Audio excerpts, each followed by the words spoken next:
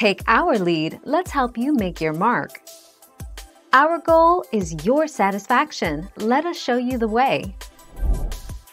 Go to Settings, Messages and turn off and then back on your iMessage option. Now open Back Message and try to send a message to your friend, S iPhone. But make sure to use the button at the top left corner to find your friend and start the conversation. Don't just open your recent chat with him, her.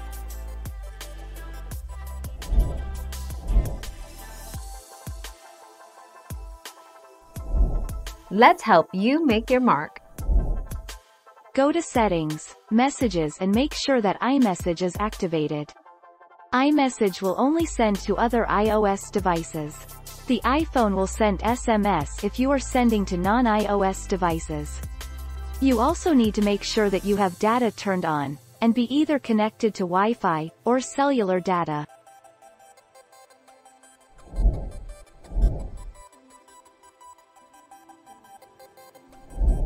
Let's help you make your mark. iMessage uses data, and so it needs to be turned on. If you go to Settings, Messages, Send as SMS and turn that on, once you try sending as an iMessage, if it does not go through, it will go through as an SMS.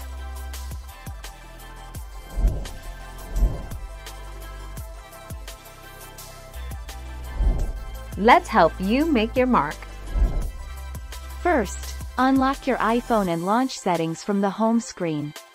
In Settings, scroll until you find Messages and tap. In Settings, find Messages. At the top of the screen, find iMessage. At the top, find the iMessage toggle. If the slider on the right is green, iMessage is already enabled.